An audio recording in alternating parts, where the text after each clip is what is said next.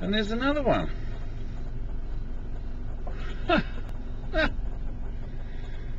Two moose, just like that.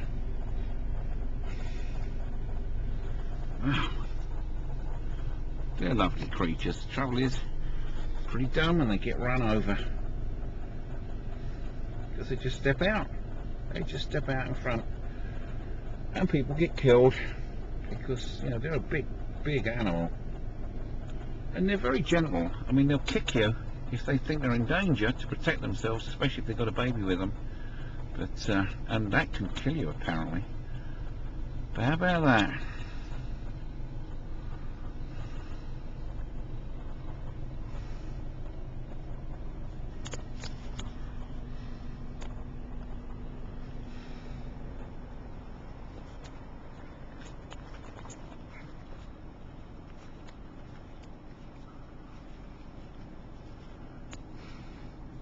And the other one's just over there somewhere.